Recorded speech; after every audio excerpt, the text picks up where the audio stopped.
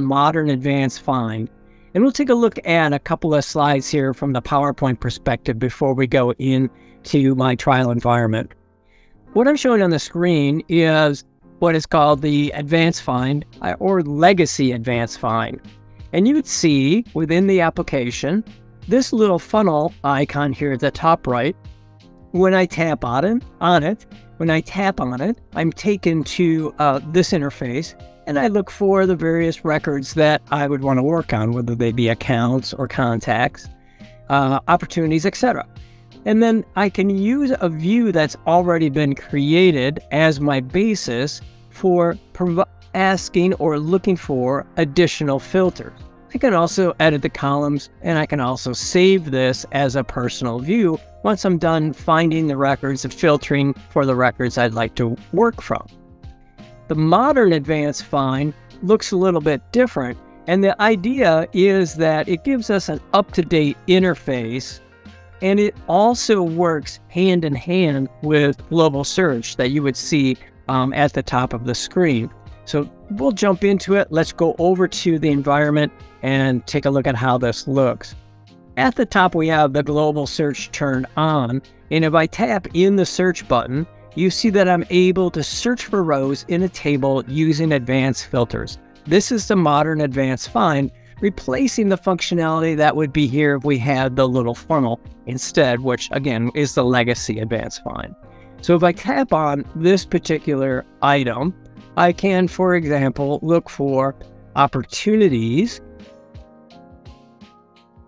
And once this loads, you'll see that instead of the legacy advanced find where we had the rows, this is a little bit more intuitive, I think. So we can add a filter, add a row here to filter for um, specific records.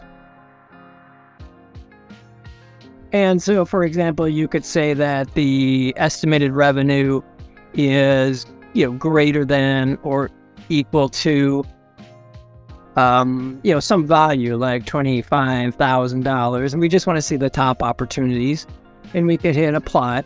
Before I do that, though, you can add additional filters and you can add filters for fields on related entities. So, for example, the account uh, for the opportunity is in Pennsylvania um, or is in Kansas.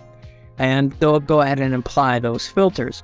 What happens then, once we do that, is we go back to a list of opportunities, but we get a little asterisk telling us that, hey, something has changed here and we're able to um, have kind of a temporary view if, if you like.